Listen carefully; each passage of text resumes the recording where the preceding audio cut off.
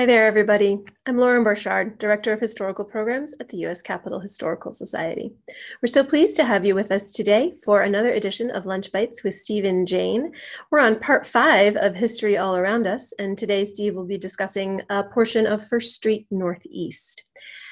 So now I will turn it over to Sam Holliday from the U.S. Capitol Historical Society. Good afternoon, everyone. Uh, it's an absolute pleasure to be with you. I'm substituting in for Jane today. She had uh, some important Board of Trustees business to attend to, so you'll be stuck with my mug uh, for different parts of today's lecture. Uh, once again, we're so grateful that you're able to join us uh, for this wonderful program, and thank you to Lauren uh, and Charlotte and everyone else who's done such incredible work putting on these great virtual public history programs. so without further ado, I'd like to turn it over to Steve Livengood to discuss uh, First Street between A and East Capitol as featured in Creating Capitol Hill, our wonderful book that we'll talk more about later. Steve? Okay, we're going to be talking about the intersections of First Street Northeast at A Street and East Capitol Street. Uh, a lot of things happen on this location, as is true of most places on Capitol Hill. Uh, but uh, we're going to spend a little time. Uh, one of the previous participants has asked to have more maps up uh, she particularly likes them and to spend more time with them. So uh, I'm going to go quickly through maps, uh, some extra ones uh, today, and then come back to them and, and, and work for them from them uh, some more.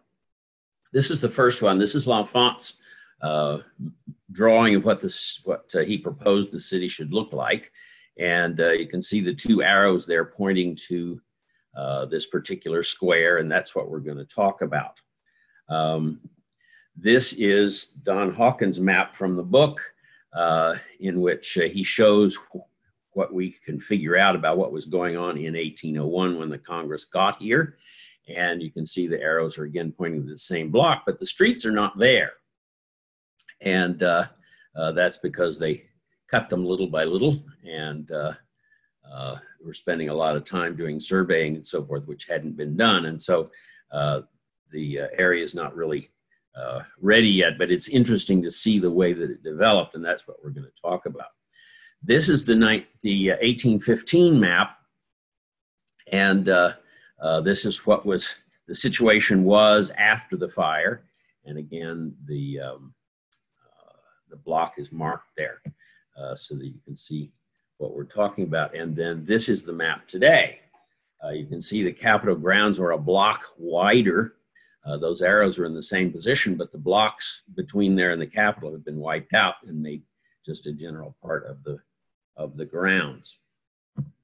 And what sits on that uh, block there between those two blue arrows is this. This is the Supreme Court. It's right across the street from the Capitol. Uh, and uh, what we're going to be talking about is what, what was there before the court got there because it's an interesting story as always. Now, I was looking, uh, and this is East Capitol Street uh, as it exists today. We're going to talk about that uh, a little bit as well. So I, I went to the to the Don Hawkins map here of what was going on in 1801, and uh, you can see the yellow arrow is up there where uh, A Street used to be, and where uh, Delaware Avenue was sort of extended, and we talked about that block a few weeks ago. But on the other side, you can see the green arrow, which is showing you where the um, where A Street was to be, and those those little black X's are the the uh, stone markers that were used to, to mark where the streets were going to be. Uh, but the streets obviously hadn't been cut yet. Uh, uh, there's no indication that there are trees there, but that the land was not evened out or anything. The, the street was just not established yet. Um, but the interesting thing to me was that the streets, East Capitol and um, uh, B Street or A Street uh, on the south, uh, both ended uh, there at uh, at Third Street, and that is an intriguing story. Um, what that does is to mark the land that belonged to Daniel Carroll. Uh, the, his uh, his property stopped before Third Street, and so this shows that he's the one that's developing around here, and the people that owned the property past that were not. And this is an this is an unusual map. I used this a couple of weeks ago, and it was pointed out to me by one listener that uh, I misstated its source. So I, I want to explain that this this map, which is in the section of the book that uh, Don Hawkins did, is not done by Don Hawkins. It is done by Priscilla McNeil, who did the research on it, and by Cynthia Elliott, who actually drew it. So, um, uh, in honor of um, women in history, we want to honor those two uh, women today uh, for having laid out this very interesting map of as much as we can tell about who owned what uh, in the original city of Washington. The uh, two yellow arrows refer to the the uh, property that belonged to Daniel Carroll of Duddington, and the, the one at the top left is the uh, locates where the Capitol itself is. Uh, the other one shows the boundary between Daniel Carroll and the next uh, owner, and you can see that there in front of the Capitol, um, it stops, and those are where the, that's where the street stops because Daniel Carroll had had uh, uh, paid for getting the streets uh, done in his area where he wanted to develop, and the next uh, owner had not. The next owner was um, Jonathan Slater. He had purchased this property in 1764, so he's had it for for uh, 30 years at this point. And in fact, he had already sold it to his son-in-law, uh, William Prout. Uh, he sold it in March 1791, but the sale was not completed yet. And so it is still attributed to Slater at this point. Uh, Slater died by 1799, and the sale of his lots, his uh, uh, property was not completed until 1799 um, uh, by his heirs, his sons, uh, who, who um, signed over their interest in the property to Prout.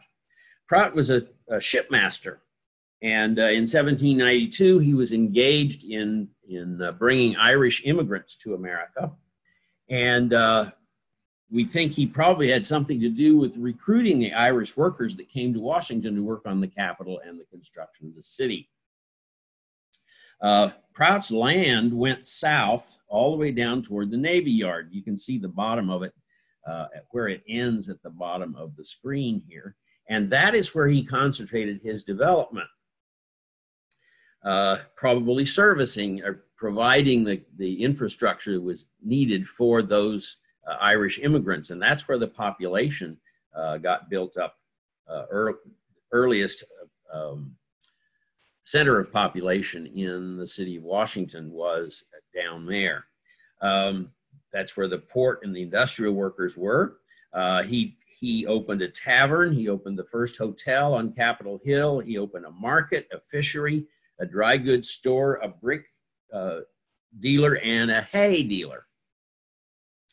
Uh, he is the one who donated the land for Christ Church, which was the Episcopal Episcopal um, church in uh, in the Capitol Hill area, the, the oldest one. It's at Sixth Street between. Uh, I'm sorry, it's on G Street between Sixth and Seventh, and still exists today. He may have even uh, contributed the land for another church that's on the hill.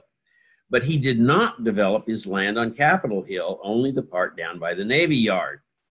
Uh, the, um, the book says that Prout is one of the few proprietors to remain solvent throughout the whole period. The third owner is Overton Carr, and in this case, the, the um, uh, map is marked Walker. Overton Carr had, uh, had owned the property before you can see it's called the Haupt Yard here. And he actually lived there. Uh, and he he was one of the of the proprietors that George Washington had asked to buy out the small landowners around, and he had done so. But then he immediately sold his land to George Walker. Um, the land was purchased by Walker, and and Walker's the one that donated the land to uh, the city of Washington. Walker was a very enthusiastic promoter. He had come to, to Georgetown uh, in the 1780s from Scotland.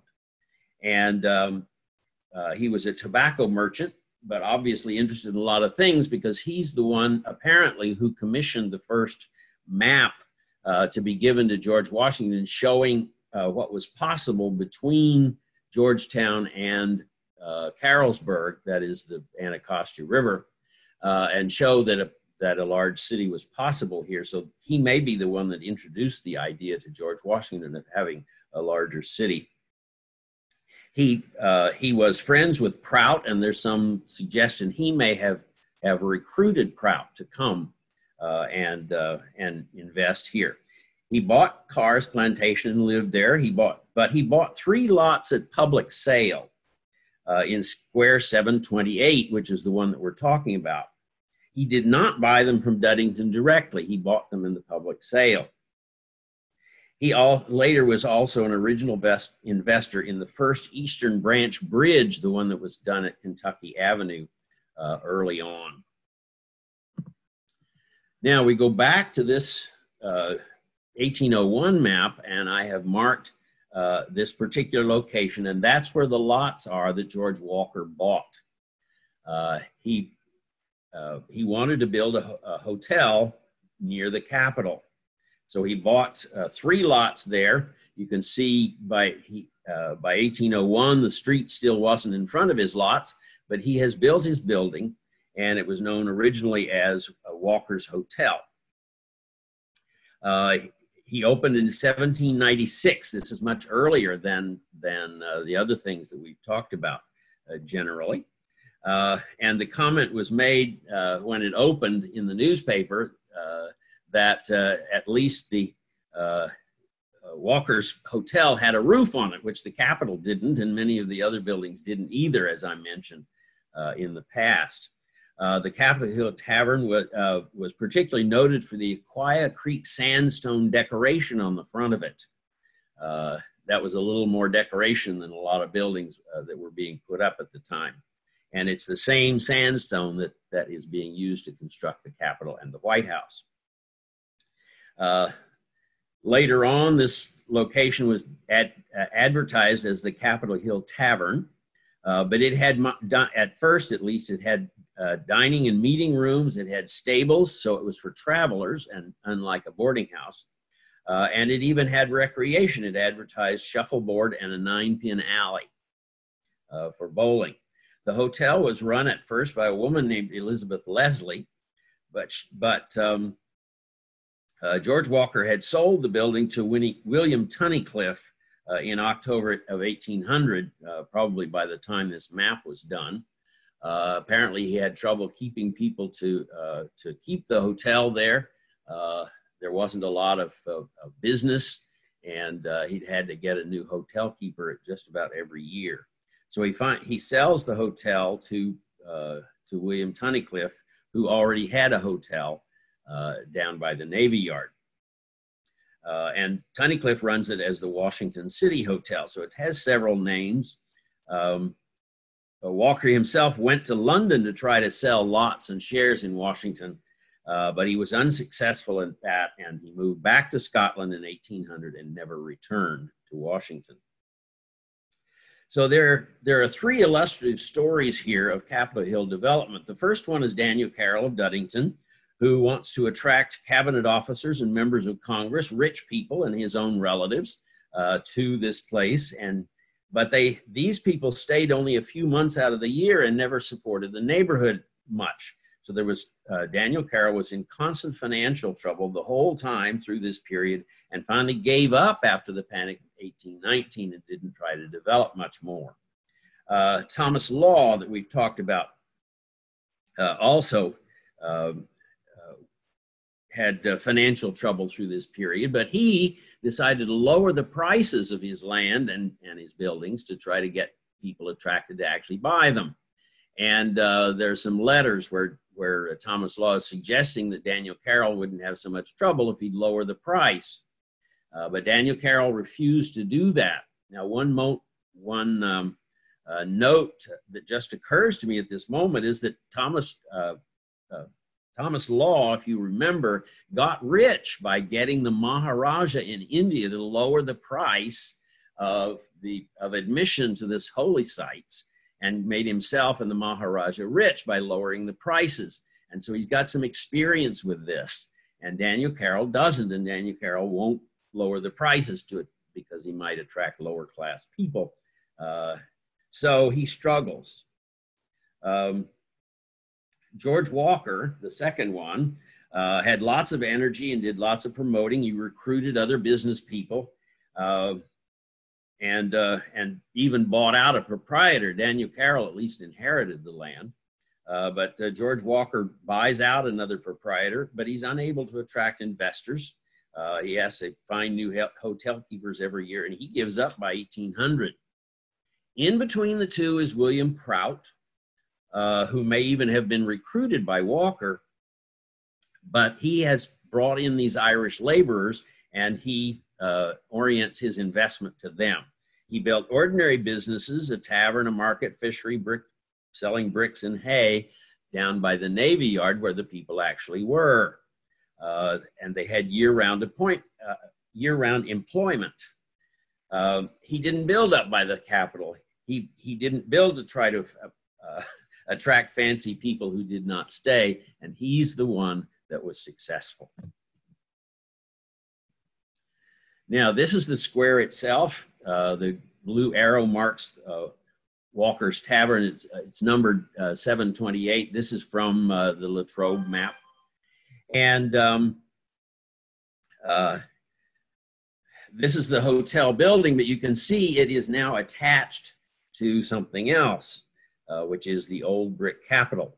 But in the meanwhile, before it gets attached, uh, it was um, uh, uh, Walker sold out his interest completely, the land and everything in 1801 to Pontius Stelle, who also is a, a, uh, character uh, keeping hotels and so forth uh, on Capitol Hill. It was sold by Stelle by 1810 to somebody else, was sold again in 1811, in 1812, in 1813, and finally bought by Daniel Carroll of Duddington in 1815. Now, that's the year that the, that, uh, the British had burned uh, Duddington's uh, Tavern and Hotel over on what's now the Capitol grounds. And so, just within months of in, in um, May, in May, he sold the ruins of his other tavern and bought this one in July. Um, but now it's talk time to talk about the the old brick capitol. Uh, this is a picture of it later, uh, and uh, you may be able to notice at the bottom. This is right across the street from the Capitol. It's on the corner where the Supreme Court is now, uh, and it had, uh, by the time of this picture, 1865, it had been there for 50 years, and yet the streets are still not paved.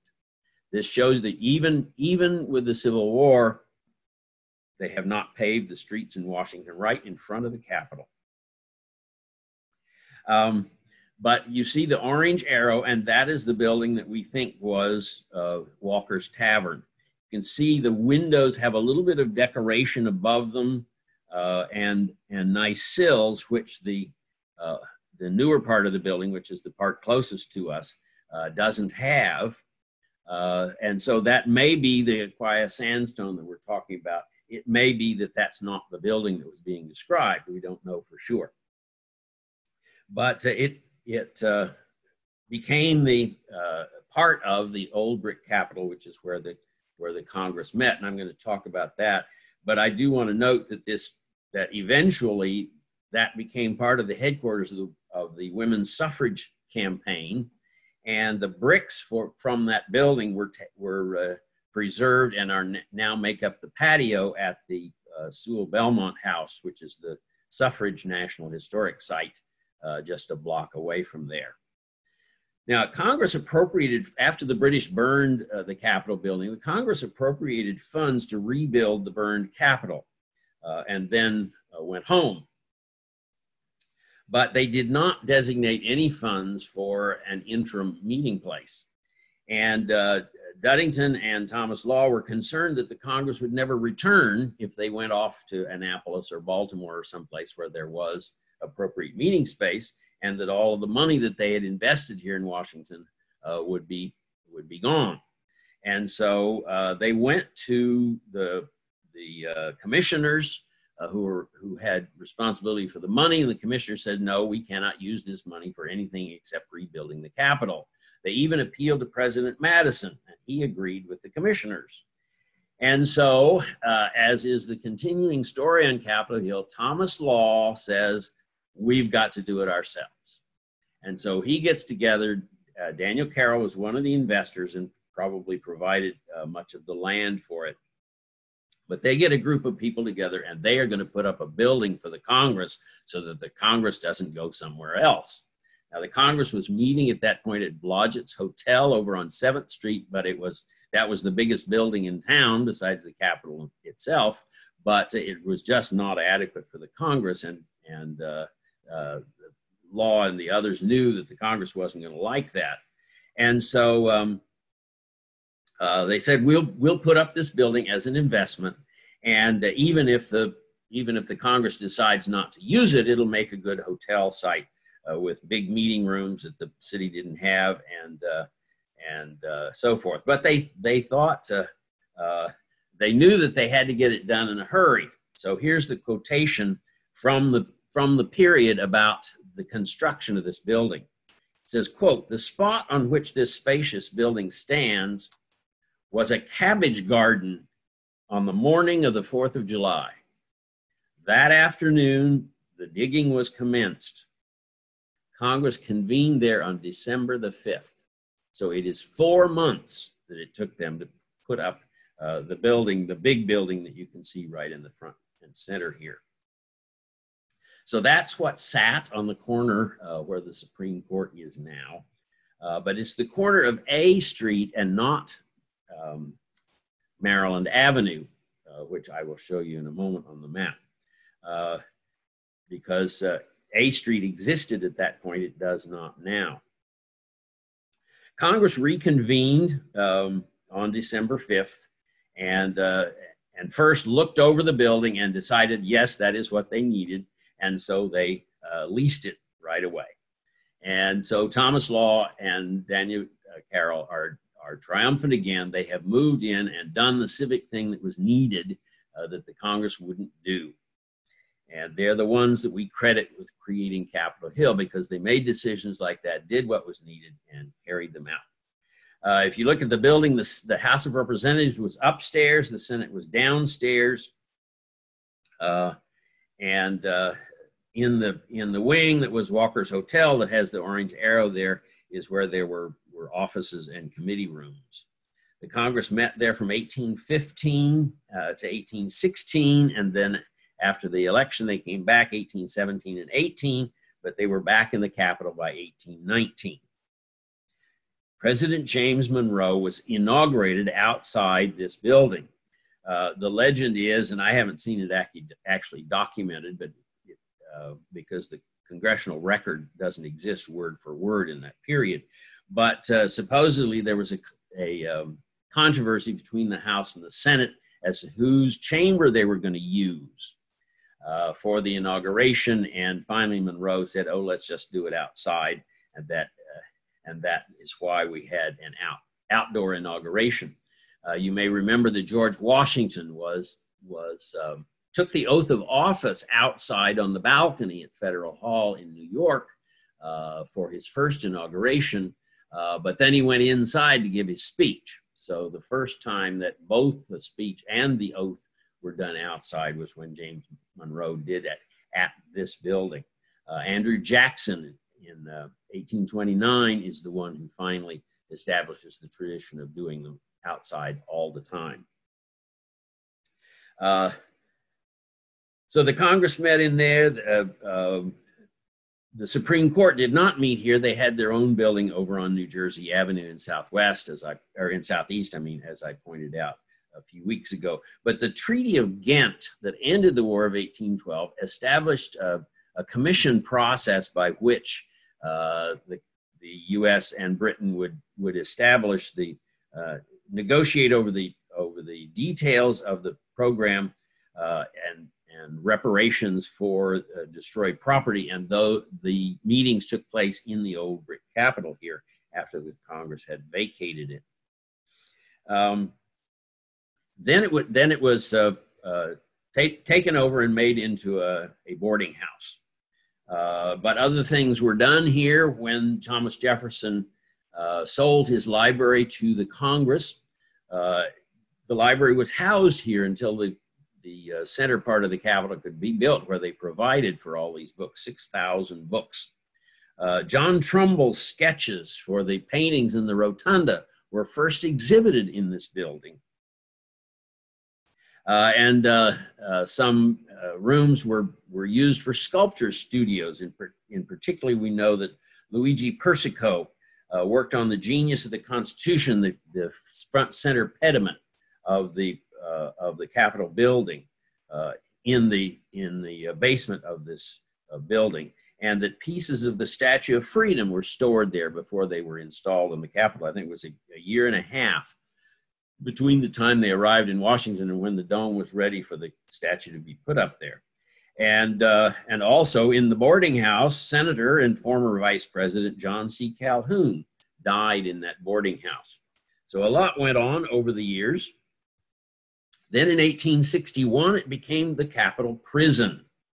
Uh, right after the, the um, uh, First Battle of Manassas, uh, the troops came streaming back into Washington. There was no place to put them, and so the the uh, uh, every building in town was requisitioned, even the churches, uh, to be used as hospitals and as barracks and as and uh, and in this case as a prison. Uh, in fact, right after the battle, they used the rotunda of the Capitol for the hospital, and the troops slept on the marble floors but then they they immediately built uh, temporary barracks for them, and, and every vacant lot in the city, particular ones that that were in were close in, were used as uh, for this purpose. Hospitals, barracks, and prisons all over the city. This was the most elite prison. The spies, Rose Greenhow and Belle Boyd, were were uh, uh, incarcerated here. Uh, the Lincoln conspirators and John Mosby were were confined here. And then Henry Wirz, the commander of the Andersonville prison, uh, where the prisoners were allowed to starve, uh, he was the, I believe, the only uh, prisoner hung after the Civil War, and, and that was done here. This photo, photo is 1865, was done by Alexander Gardner. Um, in 1867, the building was sold to George Brown, who was sergeant at arms at the, at the Senate, and he turned it into boarding houses. Now, this is a this is a, a, uh, a photograph of a stereo card, and that's why it's so fuzzy. Uh, but uh, on the right there with the green arrow, you can see the statue of George Washington that we're going to talk about it uh, in a moment. But this building with the blue arrow is the reconstituted uh, old brick capitol made into some nice looking boarding houses there. I had never seen this photograph before and was looking, I was looking for photographs of the statue and I came upon this one and then I realized that there in the background is the old brick capitol reconstituted as uh, boarding houses. You can see they're re really quite attractive, certainly relative to what the building had looked at like before. Uh, by 1929, the, uh, uh, the Congress had purchased uh, these boarding houses and tore them down for the construction of the Supreme Court. But they had been used as the headquarters of the uh, women's suffrage campaign, and so they're very associated with that at the end of the, of the life of the building. Now we're going to talk about the statue. Uh, here you can see this is uh, Lincoln's inauguration, and again, the blue arrow shows you where that statue was at that point. Um, the statue was designed for the rotunda. Uh, it's by Horatio Greenough, and uh, Greenough thought that he would help educate Americans to great art. He lived in Italy and, and was the most prominent American sculptor there, and he thought the art there was wonderful and that um, unclothed bodies added to the beauty. Americans did not agree with that. Uh, the statue itself looked rather awkward inside the building, and uh, and so um, uh, they moved it outside. And here's a group of school children looking at it. You can see the um, Olmsted lamp posts in the background there, and uh, uh, this is this is what it was looked like looked like outside and you can get a good picture of george washington there showing off his muscles uh, and uh, and teaching us like he was he was a, um, a Greek um, uh, leader.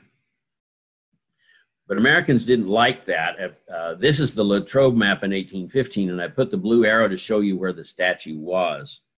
Um, but Greenough knew that that statue was going to be controversial. Uh, he had had an earlier statue that included some some um, uh, little uh, Cupid-like figures called putti, and uh, they were little boys, and it was showing their little boy parts.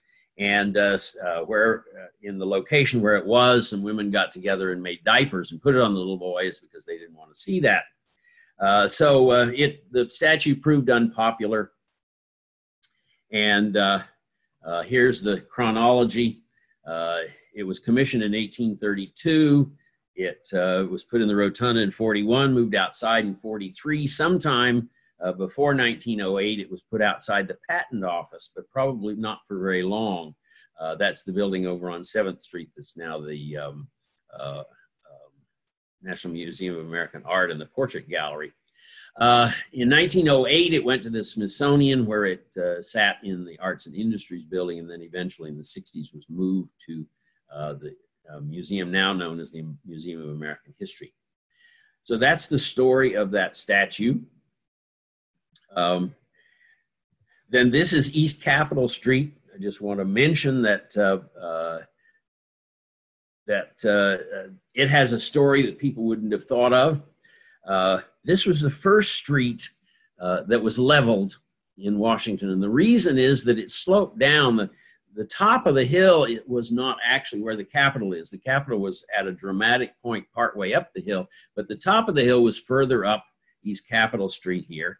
And that meant every time it rained, uh, the water would come flowing down East Capitol Street and right onto the Capitol grounds and flood the, the construction project. And so the architect uh, got them, got the uh, uh, Congress to agree to level East Capitol Street. And that meant that it made a logical place to put a market. We have no sense today of how, of how um, uh, hilly this area was and how uneven the ground was. It all looks nice and even to us today, but uh, it was unusual to have an open uh, flat area, and so they decided to put a market there. This is after this the uh, British invasion, 1815, this, the city market for Capitol Hill was put in the middle of the street here.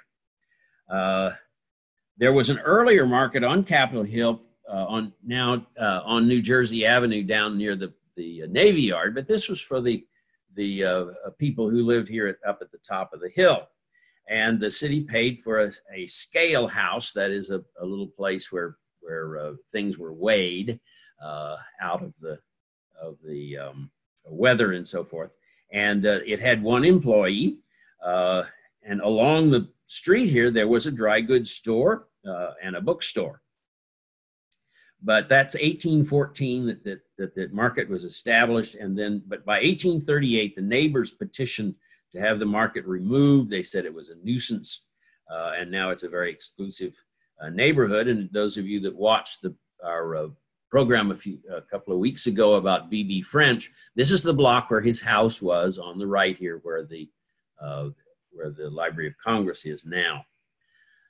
Now I'm going to end with one more map. This is the satellite view of the um, of the area, and you can see uh, what it looks like now. Let me activate my little um, pointer here. And uh, so here it is. Uh, this is where A Street used to be. You can see A Street actually stops over here, uh, and uh, and the Supreme Court has been built out there. But A Street came through here. The old brick Capitol was located here on the corner of A Street, um, and uh, Walker's uh, building was located about here. Way up here is where the um, Women's Party moved and that's where the patio is with the bricks from Walker's Tavern. Uh, this is where the market was here along East Capitol Street. French's house was about here. Um, and then the statue was located just about here uh, after they moved it out of the rotunda over here. So I am ready for questions. Yes, Sam? excellent. Yeah, I'm uh, sorry, firing the video back up there. So thank you, Steve. This has been fascinating. We've got a few questions for you. Uh, first, jumping back to the McNeil Elliott map. Uh, we've got a question. Uh, a viewer noted that the state of Maryland was listed as one of the landowners, and they're curious about how that might have come to be. Uh, that was land that was confiscated by the, by the state of Maryland because it belonged to uh, loyalists. And, and uh, in case I think in, uh, I believe it was the land that was shown there. Well, actually, let me go back up there.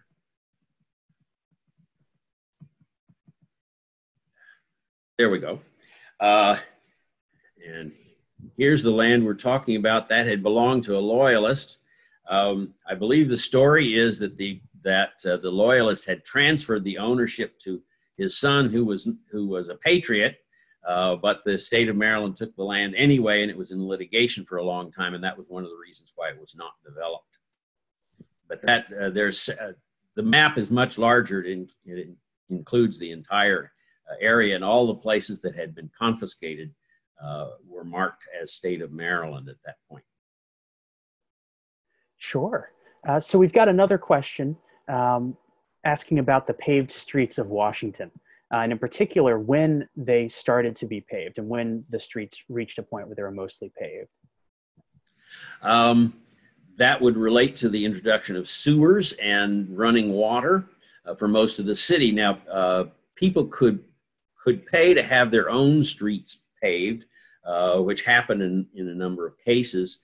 Uh, but uh, I, I, actually have not done done any study or research there, and that's why I was surprised to find that First Street was still unpaved after the Civil War. But uh, I do know that at the beginning of the Civil War, Pennsylvania Avenue was the only paved street uh, that hadn't been paved by somebody privately for just a block or so. Uh, and so uh, even after the Civil War, it's not paid, but it's that period from then, uh, particularly into the regime of Boss Shepherd, uh, where they where they straighten out the streets and and uh, ruin the properties as they did Duddington by by uh, cutting the streets and, and leaving a very steep hill to get up to your property. Sure, and I think so. The period it would be heavily done in the in the early 1870s, but I I know let's see later on the that uh, Potomac Avenue had been originally called Georgia Avenue, and it was the last of the state avenues that was not paved, and the uh, and that irritated a, a, member of Congress from Georgia, and he insisted that uh, that the the new street that they were building out of Washington, the main road out, which had been called Seventh Street Road, uh, was going to be called Georgia Avenue, and that is why Georgia to this day is the one of the original 13 colonies that is not does not have their uh, avenue in the original city. It's fascinating, and it, you know you can imagine the frustration they might have felt at uh, the only unpaved state avenue. Uh, we've got a question about the uh, market on East Capitol Street. Uh, and the question uh, regards whether there were any uh, African American vendors working in the market, perhaps farmers from Maryland, as the as the viewer asks. I do not have information on that. It would surprise me a lot if there were not, because there were there were African Americans who grew food, and the logical place to offer it for sale would be that market, and so it would be quite likely uh, but uh, I'm not the one who's done the research on that one. Sure. And then we've got one final question for you before we start to wrap. You know, I see we're going to go ahead and do two final questions here. So there's one uh, asks about uh, Carl Schurz on Capitol Hill. Uh, asks for some uh, further information on on that fellow. Yes, Carl Schurz is one of my heroes and uh, he was sort of the model uh, German immigrant. He was famous uh, from the Revolution of 1848 because uh, he was a student and his professor was one of the leaders of the revolution in Frankfurt. And um, uh, knowing the way things operated in Germany, um, Schurz, uh, when, his, when his professor was arrested and, and imprisoned in Spandau, uh, Schurz very dramatically rented a, a, um, a carriage and bribed one of the guards, and one of the and the guard lowered the professor in a huge basket out of the window of Spandau prison, and uh, Carl Schurz got him into the carriage and rushed him off, and they went off to London together. That is one of the dramatic moments of the Revolution of 1848, and so Schurz becomes his becomes the the model for that, and he comes to America as the hero of the 48ers uh, that we talked about a little bit uh, previous time, a, a group of, of very intelligent and, and highly educated Germans who came here as a result of the Revolution of 1848 and the failure of it in Germany. So Schurz goes to, um, he comes into Philadelphia uh, and then uh, goes out to uh, Wisconsin where he settles, and his wife is the one who had the first kindergarten in America and promoted the idea of kindergarten. That all goes back to Schurz's wife.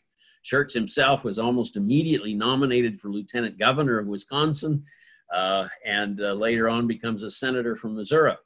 Uh, but uh, uh, uh, as, as I look back through his life to try to find out whether he'd come to Washington, I can't find any sign that he came to Washington until oh, he campaigned for Lincoln in, in 1851 and, and got a national reputation for that and, and sort of represented uh, along with some others, the, the uh, German immigrants who were quite key in the election of Lincoln. Uh, and we know that he came and visited Lincoln while he was president. Um, and so we know he came to Washington at that point, but uh, as far as I can find, uh, he did not come to Washington in this period. Sure. Uh, you know what we're going to do? I know I said two already, but we're going to do two final because there's a quick one and then one that I think you're going to enjoy. We'll start with the quick one. Uh, did the Congress pay a fee to use the old brick Capitol building? Uh, yes, they leased it. Uh, they they gave a flat amount of money. I believe it was five thousand. This is in the book. Um, they gave a flat amount of money for the furnishings and uh, and then uh, uh, leased the building and based on a six percent rate of return on the investment. Wonderful. And so then the last one uh, before we wrap things up uh, that I think you'll enjoy. Uh, that when we talked about the Treaty of Ghent, uh, it was worked out in the old brick Capitol, but the viewer uh, points out that President Madison signed the Treaty of Ghent at the Octagon House over in Northwest. And they ask about the connection between the Octagon House and the Capitol. Uh, and whether any members of Congress attended that signing. But I'll, I'll let you go ahead and start with the connection there. Well, let me let me clarify if I didn't make it clear before. What took place in the old brick Capitol was not the negotiations, but the but the follow up from the Treaty of Ghent. Uh, the Treaty of Ghent was negotiated in Ghent and and not uh, and not here uh, in Washington. But there uh, there were a lot of negotiations uh, coming to an agreement on who owed what money and and that kind of thing, and um, and those negotiations took place after the after the signing in the in the Octagon House.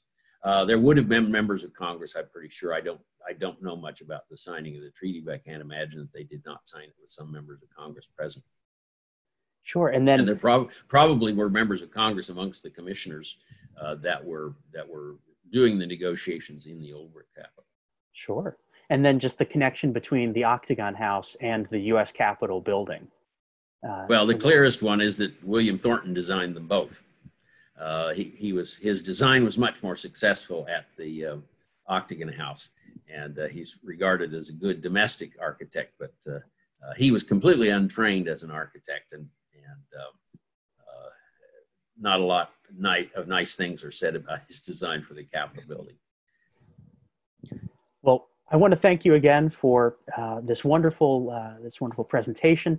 I've worked I've had the pleasure of working with Steve for the better part of four years, and I still learn something new every time we we chat. So uh, it's been a pleasure to be with and to be with all of you uh, joining us through the webinar. So I will point out that the Historical Society isn't government funded, and we do rely on the support of our wonderful members and donors. Uh, and so if you can, we appreciate it. And Steve and I are both wearing USCHS neckties today. So if you're looking for some nice Father's Day gifts, perhaps, or just an any occasion gift, uh, please be sure to check out our merchandise website, uschscatalog.org. Uh, and then all the go ahead, Steve. Let me add, Sam, that my my tie is designed after the coffers in the in the dome. That's the connection. So looking at Steve, it's like looking up into the, the great dome of the Capitol building there. Uh, I just have little flags and domes on the outside, but it's uh, there's I have a dome in honor. there we go. Well, we, again, we want to thank you for joining us today. Uh, we wish you well, and we look forward to seeing you next week.